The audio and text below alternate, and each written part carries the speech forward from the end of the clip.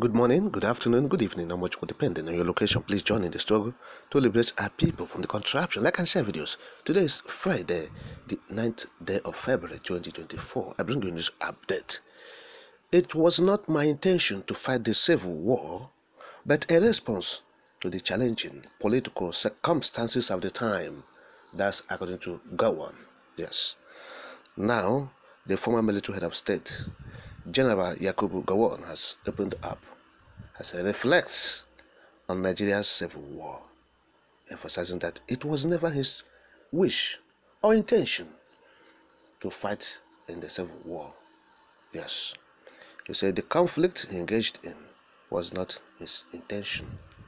Said it was not intentional to engage in that conflict that consumed over 3 million lives of Igbos. Yes, in that genocide, the one said he never intended to kill anybody. He said he never hated any tribe in his life. He said, I never hated any tribe. Look at what he said recently when he was uh, interviewed. The one clarified that decision to fight the civil war was not rooted in hatred, but a response to the challenging political circumstances of the moment of that time of the generation. He says that the crucial choice was between maintaining Nigeria's unity or facing disintegration. According to him, during that period, his focus as head of state was on preserving the nation, expressing a deep commitment to the greatness of his own country. Nigeria.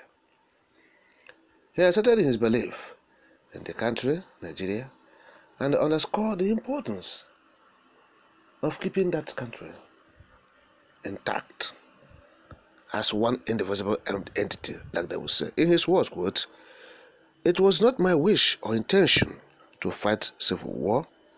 It is not a hatred against any people but the political situation at the time was such that it got to the point where it is either Nigeria remained one country or not. And as I always said during that time, if the question of breaking Nigeria is not part of our discussion, we will review everything in order to make sure that Nigeria survived and be a great country. I'm a great believer in Nigeria. End of quote. And now, this is his statement. He said, he wanted Nigeria to remain one country and be a great nation. So well, I believe by now Gowon must have you know learned his lesson, but in a hard way. Yes, in a hard way. What is happening to his people since two decades now? Suppose have you know given him an introspective thought. Yes, over twenty over twenty years now his people has been suffering a great deal in the hands of the Fulani, those that used him to subjugate, annihilate the Igbos. They said they are keeping Nigeria one. Where is the one Nigeria? Where is the Nigeria you have kept one after killing over 3 million persons to keep Nigeria one? What's the justification as we're speaking? What's the justification?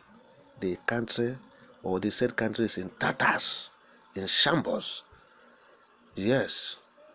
So even his own people, Gowon, his people, they have been slaughtered like chickens since 20 years now, still running. Oh, yes. Recently, just two weeks ago, the churches in Plateau State were burnt down, raised to ashes.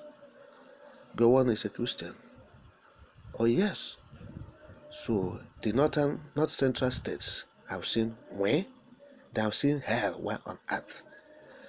You know, the level of uh, destruction of lives and properties in that region is unquantifiable. Yes, as we're speaking, you cannot measure it or quantify it. The level of loss of lives and property there. Yes. So this is the one Nigeria he, he, he, he, he, he fought to keep together. Yes, I think this is dream of the country.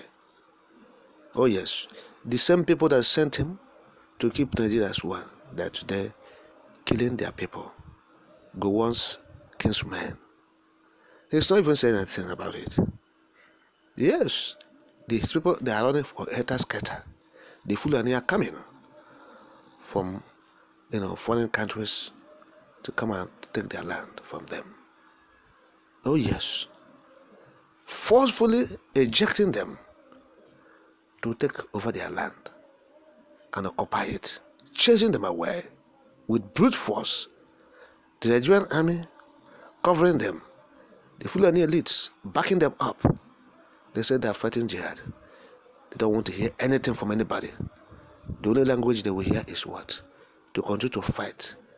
And they will want to carry out that instruction given to them by Othman Dan Fodio.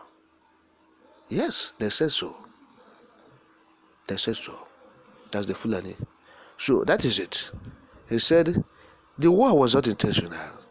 Rather, he was determined to keep Nigeria as one indivisible entity. And so we have seen it. So he said he never hated Ndigbo. But we are yet to see the the apology from him. This is not apology. That I never hated any tribe. I didn't go to that war because I wanted to go. It was a call for duty, duty calls for keeping Nigeria one.